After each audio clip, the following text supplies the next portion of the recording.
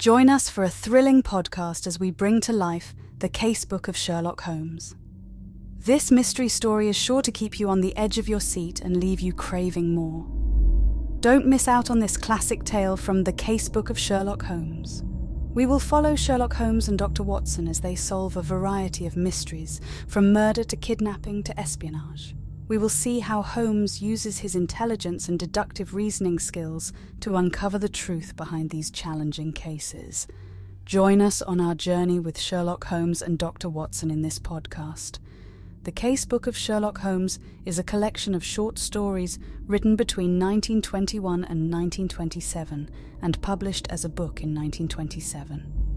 It is the last collection of stories of the incredible detective Sherlock Holmes and his inseparable Dr. Watson. Through 12 other stories, as varied as an illustrious client and a Sussex vampire, a three roofed house, or problems of Thor's Bridge, readers will say goodbye to Sherlock Holmes through complicated cases that once again will test the brilliant mind of Holmes.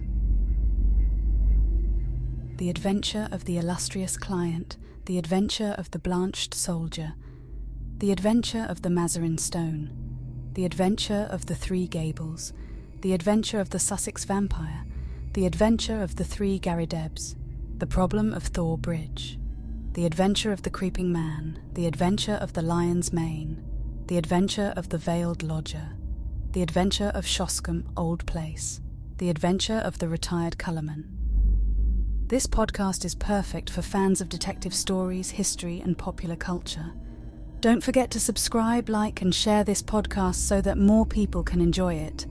Thank you for listening. Preface I fear that Mr. Sherlock Holmes may become like one of those popular tenors who, having outlived their time, are still tempted to make repeated farewell bows to their indulgent audiences.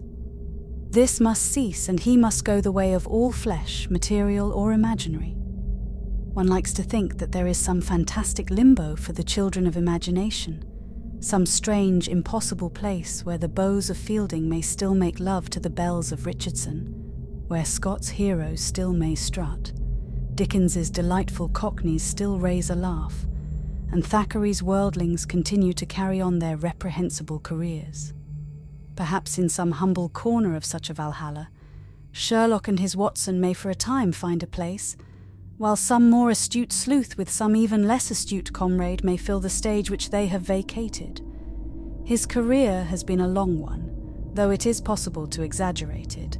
Decrepit gentlemen who approach me and declare that his adventures formed the reading of their boyhood do not meet the response from me which they seem to expect. One is not anxious to have one's personal dates handled so unkindly.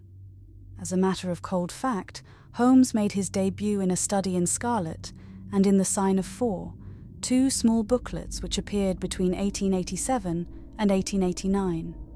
It was in 1891 that A Scandal in Bohemia, the first of the long series of short stories, appeared in the Strand magazine. The public seemed appreciative and desirous of more so that from that date, 36 years ago, they have been produced in a broken series which now contains no fewer than 56 stories, republished in The Adventures, The Memoirs, The Return, and His Last Bow. And there remain these 12 published during the last few years, which are here produced under the title of The Casebook of Sherlock Holmes. He began his adventures in the very heart of the later Victorian era carried it through the all too short reign of Edward, and has managed to hold his own little niche even in these feverish days. Thus, it would be true to say that those who first read of him as young men have lived to see their own grown up children following the same adventures in the same magazine. It is a striking example of the patience and loyalty of the British public. I had fully determined at the conclusion of the memoirs to bring Holmes to an end as I felt that my literary energies should not be directed too much into one channel. That pale, clear cut face and loose limbed figure were taking up an undue share of my imagination. I did the deed, but fortunately no coroner had pronounced upon the remains, and so, after a long interval, it was not difficult for me to respond to the flattering demand and to explain my rash act away. I have never regretted it, for I have not in actual practice found that these lighter sketches have prevented me from exploring and finding my limitations in such varied branches of literature as history, poetry, historical novels, psychic research, and the drama. Had Holmes never existed, I could not have done more, though he may perhaps have stood a little in the way of the recognition of my more serious literary work. And so, reader, farewell to Sherlock Holmes I thank you for your past constancy, and can but hope that some return has been made in the shape of that distraction from the worries of life and stimulating change of thought which can only be found in the fairy kingdom of romance.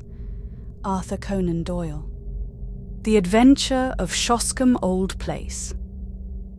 Sherlock Holmes had been bending for a long time over a low power microscope. Now he straightened himself up and looked round at me in triumph. It is glue, Watson, said he. Unquestionably, it is glue. Have a look at these scattered objects in the field. I stooped to the eyepiece and focused for my vision. Those hairs are threads from a tweed coat. The irregular grey masses are dust. There are epithelial scales on the left. Those brown blobs in the centre are undoubtedly glue. Well, I said, laughing, I am prepared to take your word for it. Does anything depend upon it? It is a very fine demonstration, he answered. In the St. Pancras case, you may remember that a cap was found beside the dead policeman. The accused man denies that it is his, but he is a picture frame maker who habitually handles glue. Is it one of your cases? No, my friend, Merivale of the Yard, asked me to look into the case. Since I ran down that coiner by the zinc and copper filings in the seam of his cuff, they have begun to realize the importance of the microscope. He looked impatiently at his watch. I had a new client calling, but he is overdue. By the way, Watson, you know something of racing. I ought to. I pay for it with about half my wound pension. Then I'll make you my handy guide to the turf. What about Sir Robert Norberton? Does the name recall anything? Well, I should say so. He lives at Shoscombe Old Place, and I know it well, for my summer quarters were down there once. Norberton nearly came within your province once. How was that? It was when he horsewhipped Sam Brewer, the well known Curzon Street moneylender on Newmarket Heath. He nearly killed the man. Ah, he sounds interesting. Does he often indulge in that way? Well, he has the name of being a dangerous man. He is about the most daredevil rider in England, second in the Grand National a few years back. He is one of those men who have overshot their true generation. He should have been a buck in the days of the Regency, a boxer, an athlete, a plunger on the turf, a lover of fair ladies, and by all accounts so far down Queer Street that he may never find his way back again. Capital, Watson, a thumbnail sketch, I seem to know the man. Now, can you give me some idea of Shoscombe Old Place? Only that it is in the centre of Shoscombe Park, and that the famous Shoscombe stud and training quarters are to be found there. And the head trainer, said Holmes, is John Mason, you need not look surprised at my knowledge, Watson, for this is a letter from him which I am unfolding. But let us have some more about Shoscombe. I seem to have struck a rich vein. There are the Shoscombe Spaniels, said I. You hear of them at every dog show, the most exclusive breed in England. They are the special pride of the Lady of Shoscombe Old Place. Sir Robert Norberton's wife, I presume. Sir Robert has never married. Just as well, I think, considering his prospects. He lives with his widowed sister, Lady Beatrice Falder. You mean that she lives with him? No, no, the place belonged to her late husband, Sir James. Norberton has no claim on it at all. It is only a life interest and reverts to her husband's brother. Meantime, she draws the rents every year. And Brother Robert, I suppose, spends the said rents? That is about the size of it. He is a devil of a fellow, and must lead her a most uneasy life. Yet I have heard that she is devoted to him. But what is amiss at Shoscombe? Ah, that is just what I want to know, and here I expect is the man who can tell us. The door had opened, and the page had shown in a tall, clean shaven man with the firm, austere expression which is only seen upon those who have to control horses or boys. Mr. John Mason had many of both under his sway, and he looked equal to the task. He bowed with cold self possession and seated himself upon the chair to which Holmes had waved him. You had my note, Mr. Holmes? Yes. But it explained nothing. It was too delicate a thing for me to put the details on paper. And too complicated. It was only face to face I could do it. Well, we are at your disposal. First of all, Mr. Holmes, I think that my employer, Sir Robert, has gone mad. Holmes raised his eyebrows. This is Baker Street, not Harley Street, said he. But why do you say so? Well, sir, when a man does one queer thing or two queer things, there may be a meaning to it, but when everything he does is queer, then you begin to wonder. I believe Shoscombe Prince and the Derby have turned his brain. That is a cult you are running? The best in England, Mr. Holmes. I should know if anyone does. Now I'll be plain with you, for I know you are gentlemen of honour and that it won't go beyond the room. Sir Robert has got to win this derby. He's up to the neck, and it's his last chance. Everything he could raise or borrow is on the horse, and at fine odds, too. You can get forties now, but it was nearer the hundred when he began to back him. But how is that, if the horse is so good? The public don't know how good he is. Sir Robert has been too clever for the touts. He has the prince's half brother out for spins. You can't tell 'em apart. But there are two lengths in a furlong between them when it comes to a gallop. He thinks of nothing but the horse and the race. His whole life is on it. He's holding off the Jews till then. If the prince fails him, he is done. It seems a rather desperate gamble, but where does the madness come in? Well, first of all, you have only to look at him. I don't believe he sleeps at night. He is down at the stables at all hours. His eyes are wild. It has all been too much for his nerves. Then there is his conduct to Lady Beatrice. Ah, what is that? They have always been the best of friends. They had the same tastes, the two of them, and she loved the horses as much as he did. Every day, at the same hour, she would drive down to see them, and above all, she loved the prince. He would prick up his ears when he heard the wheels on the gravel, and he would trot out each morning to the carriage to get his lump of sugar. But that's all over now. Why? Well, she seems to have lost all interest in the horses. For a week now, she has driven past the stables with never so much as good morning. You think there has been a quarrel? And a bitter, savage, spiteful quarrel at that. Why else would he give away her pet spaniel that she loved as if he were her child? He gave it a few days ago to old Barnes, what keeps the Green Dragon three miles off at Crendall. That certainly did seem strange. Of course, with her weak heart and dropsy one couldn't expect that she could get about with him, but he spent two hours every evening in her room. He might well do what he could, for she has been a rare good friend to him. But that's all over too. He never goes near her, and she takes it to heart. She is brooding and sulky and drinking, Mr. Holmes, drinking like a fish. Did she drink before this estrangement? Well, she took her glass, but now it is often a whole bottle of an evening. So Stevens, the butler, told me. It's all changed, Mr. Holmes, and there is something damned rotten about it. But then, again, what is Master doing down at the old church crypt at night? And who is the man that meets him there? Holmes rubbed his hands. Go on, Mr. Mason. You get more and more interesting. It was the butler who saw him go. Twelve o'clock at night and raining hard. So next night I was up at the house, and sure enough, Master was off again. Stevens and I went after him, but it was jumpy work, for it would have been a bad job if he had seen us. He's a terrible man with his fists if he gets started, and no respecter of persons. So we were shy of getting too near, but we marked him down all right. It was the haunted crypt that he was making for, and there was a man waiting for him there. What is this haunted crypt? Well, sir, there is an old ruined chapel in the park. It is so old that nobody could fix its date. And under it there's a crypt which has a bad name among us. It's a dark, damp, lonely place by day, but there are few in that county that would have the nerve to go near it at night. But Master's not afraid. He never feared anything in his life. But what is he doing there in the night time? Wait a bit, said Holmes. You say there is another man there. It must be one of your own stablemen or someone from the house. Surely you have only to spot who it is and question him? It's no one I know. How can you say that? Because I have seen him, Mr. Holmes. It was on that second night. Sir Robert turned and passed us, me and Stevens quaking in the bushes like two bunny rabbits, for there was a bit of moon that night, but we could hear the other moving about behind. We were not afraid of him, so we up when Sir Robert was gone and pretended we were just having a walk like in the moonlight, and so we came right on him as casual and innocent as you please. Hello, mate, who may you be? says I.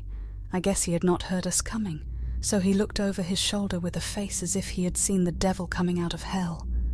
He let out a yell, and away he went as hard as he could lick it in the darkness. He could run, I'll give him that. In a minute he was out of sight and hearing, and who he was or what he was we never found. But you saw him clearly in the moonlight? Yes, I would swear to his yellow face, a mean dog, I should say. What could he have in common with Sir Robert? Holmes sat for some time lost in thought. Who keeps Lady Beatrice Falder company? he asked at last. There is her maid, Carrie Evans. She has been with her this five years. And is no doubt devoted. Mr. Mason shuffled uncomfortably. She's devoted enough, he answered at last. But I won't say to whom. Ah, said Holmes.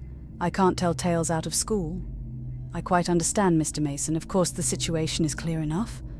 From Dr. Watson's description of Sir Robert, I can realize that no woman is safe from him. Don't you think the quarrel between brother and sister may lie there? Well, the scandal has been pretty clear for a long time. But she may not have seen it before. Let us suppose that she has suddenly found it out. She wants to get rid of the woman. Her brother will not permit it. The invalid, with her weak heart and inability to get about, has no means of enforcing her will. The hated maid is still tied to her. The lady refuses to speak, sulks, takes to drink. Sir Robert, in his anger, takes her pet spaniel away from her. Does not all this hang together? Well, it might do, so far as it goes. Exactly, as far as it goes. How would all that bear upon the visits by night to the old crypt? We can't fit that into our plot.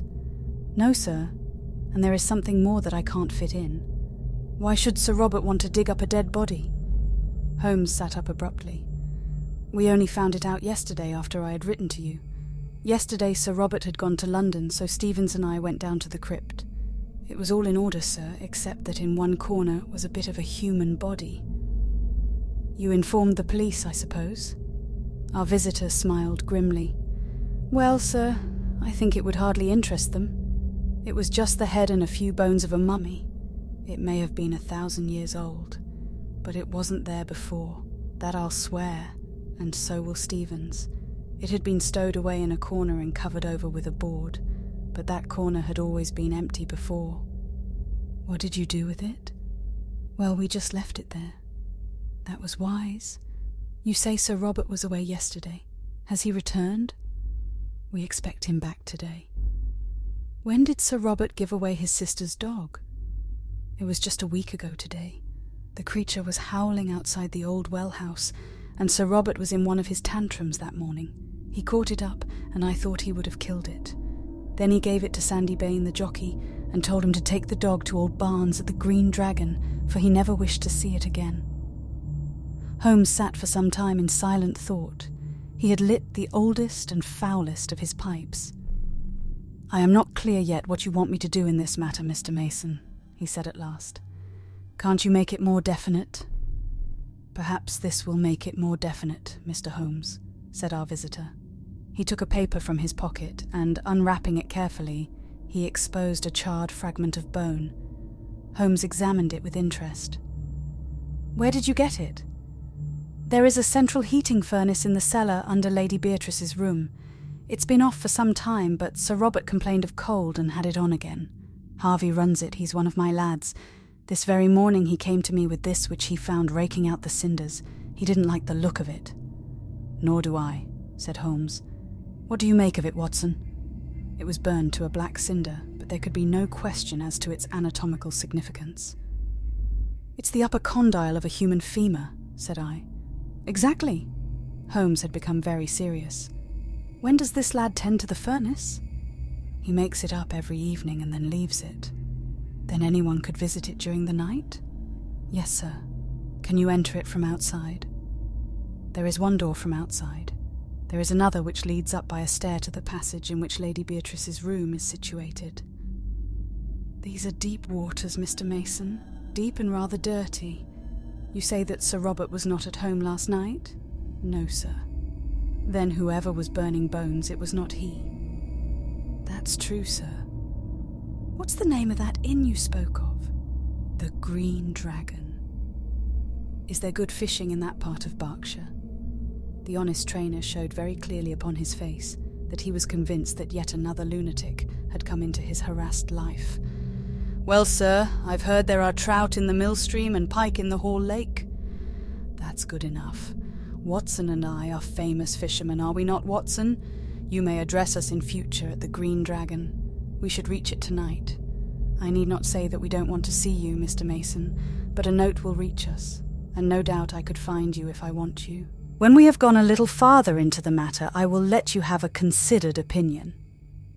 Thus it was that on a bright May evening, Holmes and I found ourselves alone in a first class carriage and bound for the little halt on demand station of Shoscombe.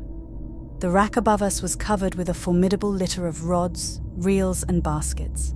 On reaching our destination, a short drive took us to an old fashioned tavern where a sporting host, Josiah Barnes, entered eagerly into our plans for the extirpation of the fish of the neighbourhood.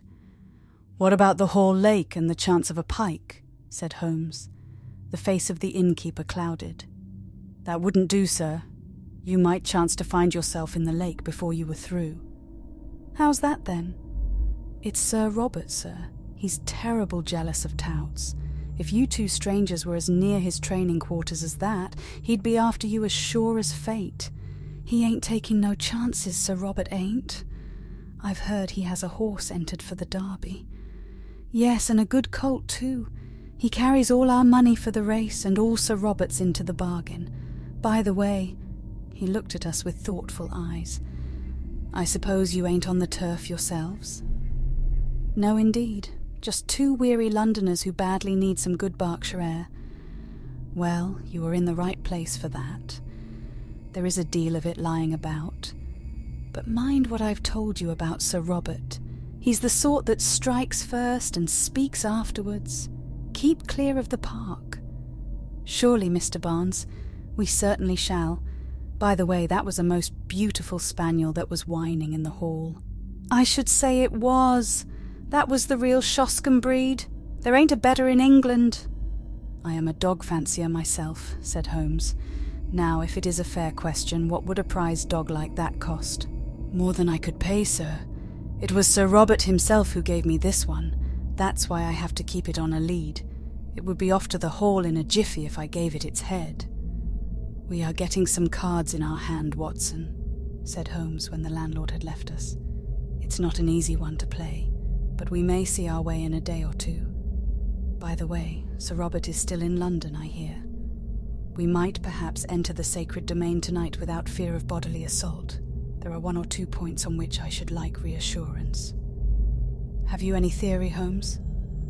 Only this, Watson, that something happened a week or so ago which has cut deep into the life of the Shoscombe household. What is that something? We can only guess at it from its effects. They seem to be of a curiously mixed character, but that should surely help us. It is only the colourless, uneventful case which is hopeless. Let us consider our data. The brother no longer visits the beloved invalid sister. He gives away her favourite dog, her dog, Watson. Does that suggest nothing to you? Nothing but the brother's spite. Well, it might be so. Or, well, there is an alternative. Now, to continue our review of the situation from the time that the quarrel, if there is a quarrel, began. The lady keeps her room, alters her habits, is not seen save when she drives out with her maid, refuses to stop at the stables to greet her favourite horse, and apparently takes to drink. That covers the case, does it not? Save for the business in the crypt. That is another line of thought. There are two, and I beg you will not tangle them. Line A, which concerns Lady Beatrice, has a vaguely sinister flavour, has it not? I can make nothing of it. Well, now, let us take up line B, which concerns Sir Robert. He is mad keen upon winning the Derby. He is in the hands of the Jews, and may at any moment be sold up and his racing stables seized by his creditors. He is a daring and desperate man. He derives his income from his sister. His sister's maid is his willing tool. So far, we seem to be on fairly safe ground, do we not? But the crypt? Ah, yes, the crypt. Let us suppose, Watson, it is merely a scandalous supposition, a hypothesis put forward for argument's sake, that Sir Robert has done away with his sister.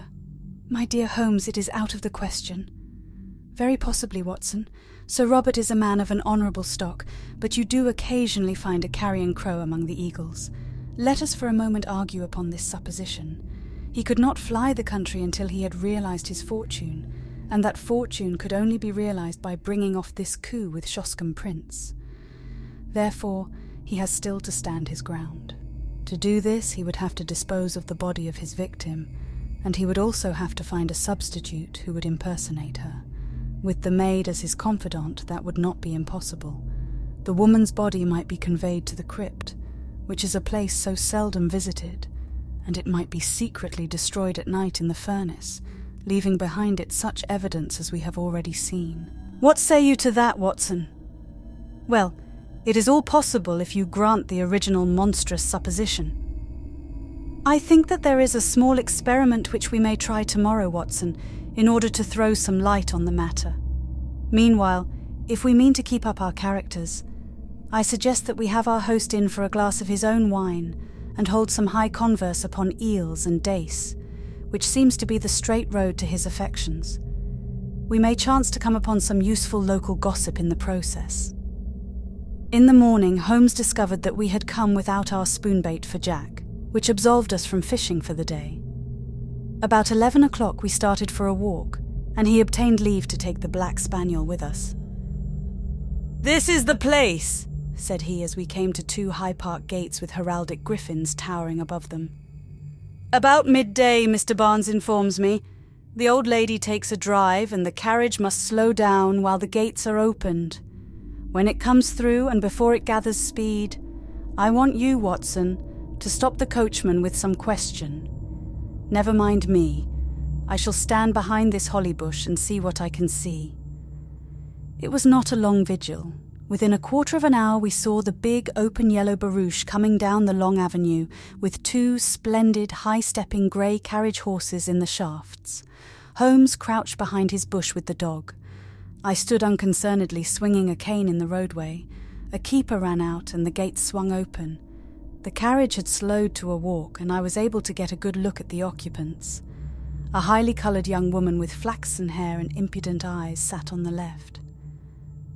At her right was an elderly person with rounded back, and a huddle of shawls about her face and shoulders, which proclaimed the invalid.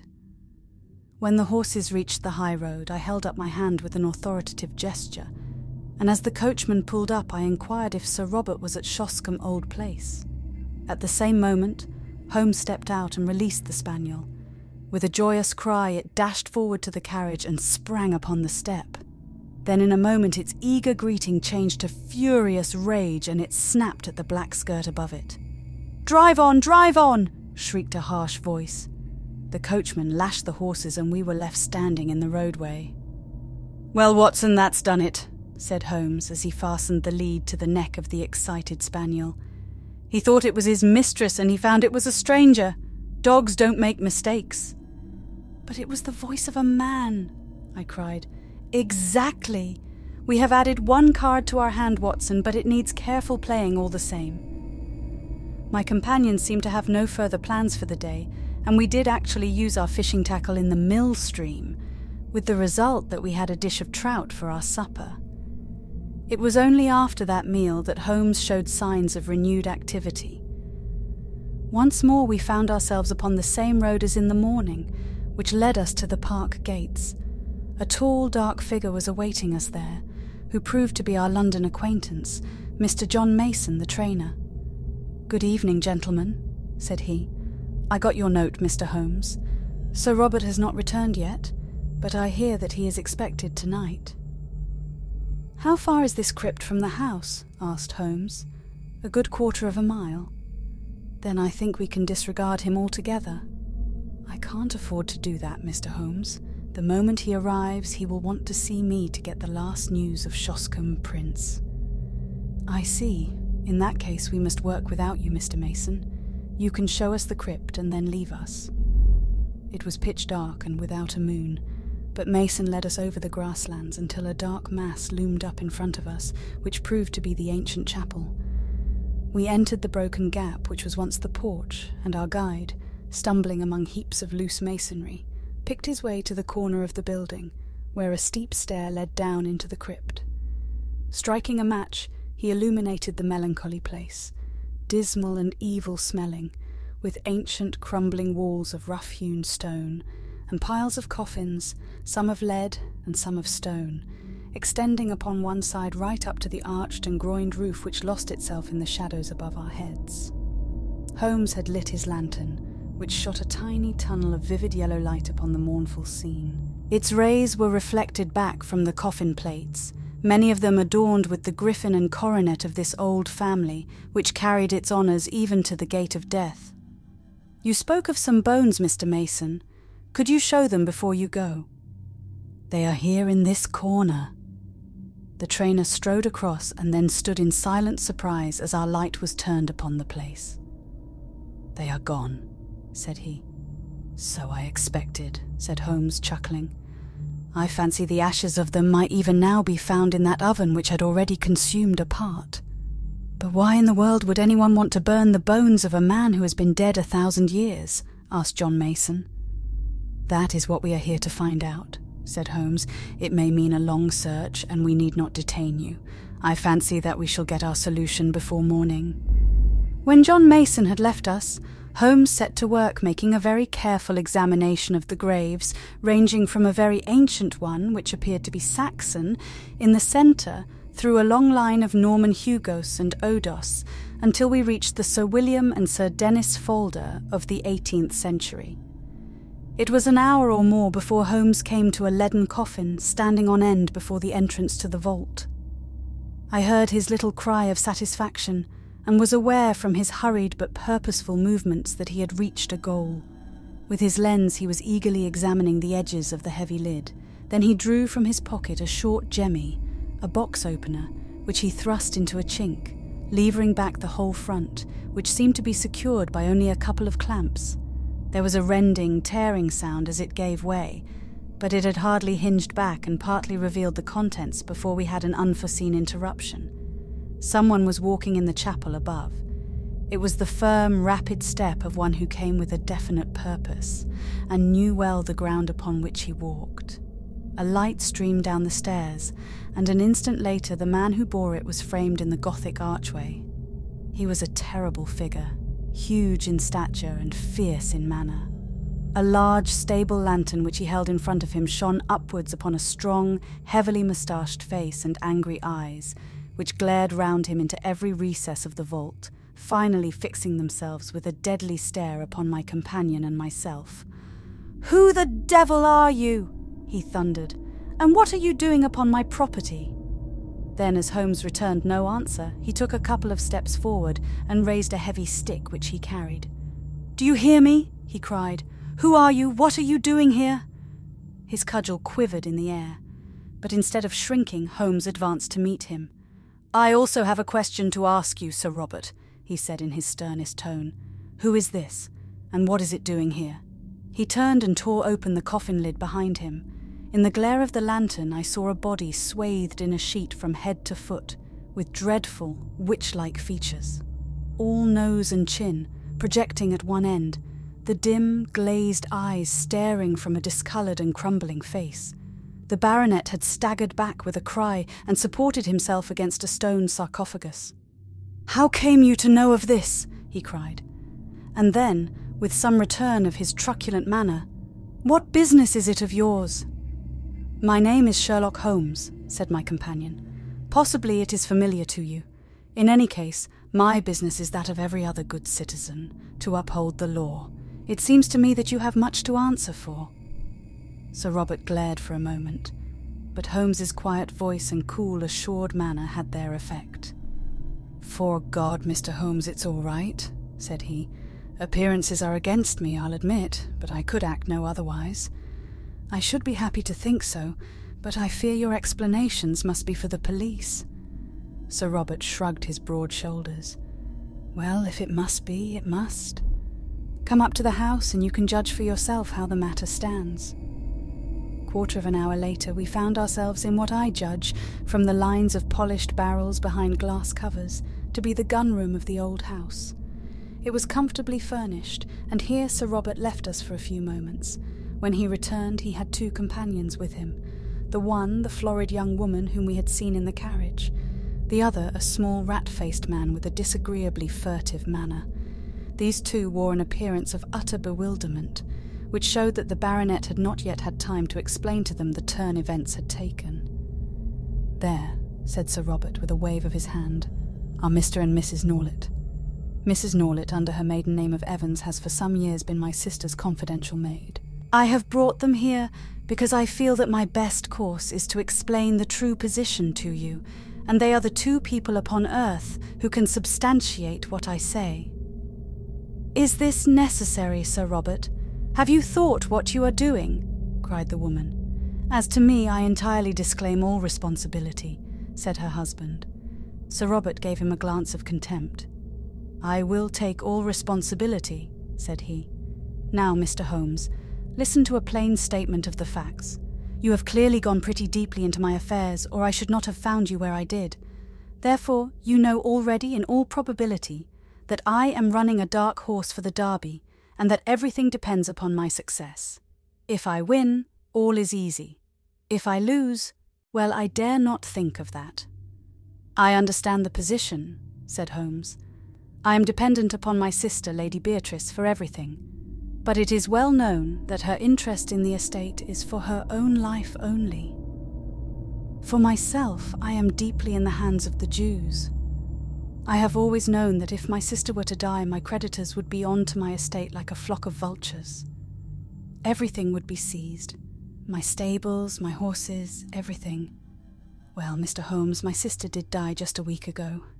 And you told no one. What could I do? Absolute ruin faced me.